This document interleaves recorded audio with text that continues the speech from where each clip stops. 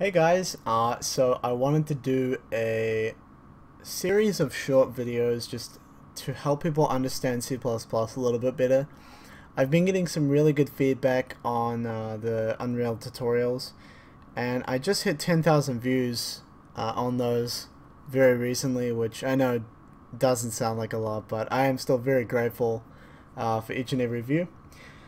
But anyways, I wanted to do a really quick and simple sort of series of videos on how to understand C++ a little bit better because if you've done the tutorial so far and you get C++, that's fine.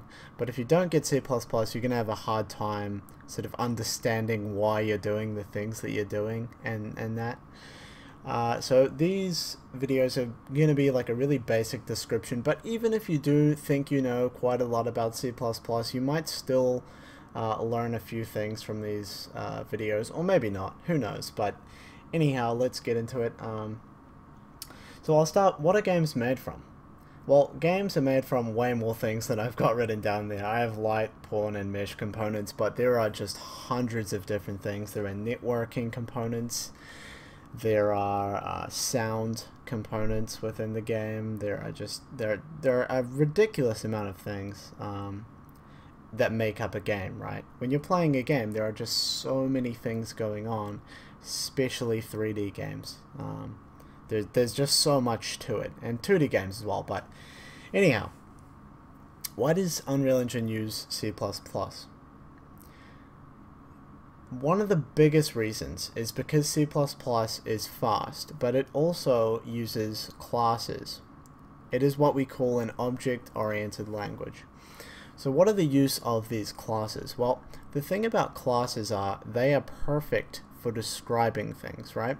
So for example, if I was a class, you could you could write a class to describe me, uh, and it would have properties like name equals Ruben, height equals 180 centimeters, uh, country equals New Zealand, things like that that describe me, right? So you could write a class about me. So in a, in a game where we have a lot of things going on, using classes makes quite a lot of sense. So for example, uh, a light component, we could write a class to describe the intensity of the light, where the light is positioned in the game, the type of light, um, the light's color, just so many different things, right?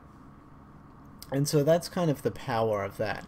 Uh, C++ is also very portable, which means it runs on a lot of different machines, uh, and that's also something that I think the Unreal Engine tries to achieve. Uh, really quickly, I know I used the same picture for the header file and CPP file things, but it doesn't really matter anyway. Um, the header file is basically where we declare things, right? So for example, um, we would write out each property and then we would use it, right? The CPP file is where we actually use the thing. So the header file, we might say, so for example, if I was modeling a light, if I was writing a class about a light, uh, my header file might say, this light is going to have a certain intensity, but we would actually say what that intensity is in the CPP file and we would actually do something with that intensity in the CPP file. So the header file is kind of where we define everything and the CPP is where we actually work with those things that we have defined, if that makes sense. Um, so let's move on. In C++, you want to store data. Now, if you don't know anything about C++, the idea is that in programming, we are always storing variables. So, take Call of Duty for example. Every time you shoot your gun, the program or the game is keeping track of how much ammo you have left in your gun. Right? So if it says there is 34 bullets left in your gun, somewhere in the system's memory that number is sitting, 34. Um, so, for example, here I've used the player's level. So in standard C++, we would say int player level equals 0. In Unreal, we say int 32 player level equals 0. So whenever you're using Unreal C++ and you want to store a number, you would use int 32. So when we were making that class about me, we would say int 32 Ruben's height equals 180, right? And then we also have some string examples here. There are more data types like floats and other decimal types and things like that, but for now I'm just covering numbers and strings just to keep things simple.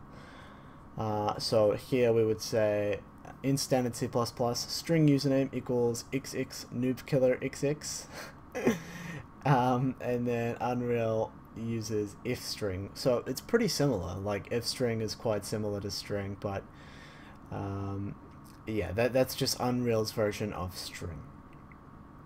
So you might be thinking, why all this, right? Why can't I just type int player level equals zero or string username equals noobkiller? Why do I have to use these weird types that are different from traditional C++?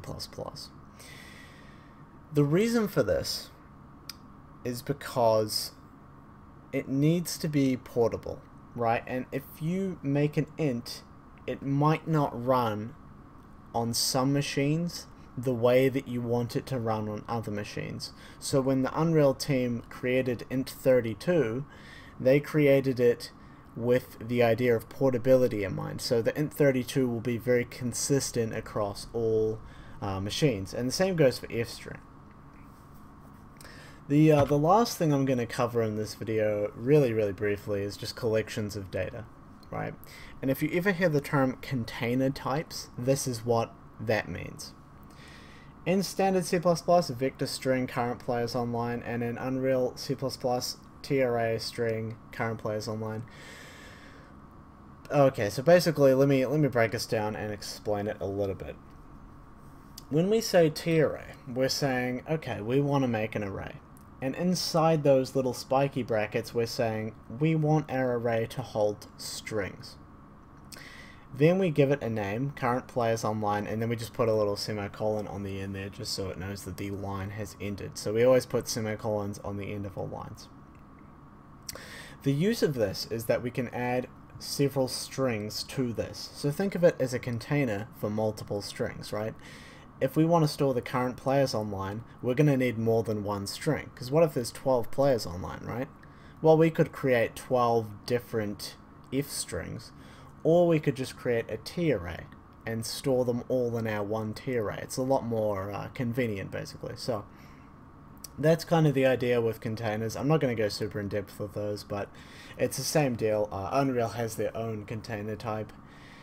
Uh, but yeah, that's basically it. I'm gonna you know slowly go more in depth as the series continues. But anyways, I'll see you in the next video. Thanks for watching.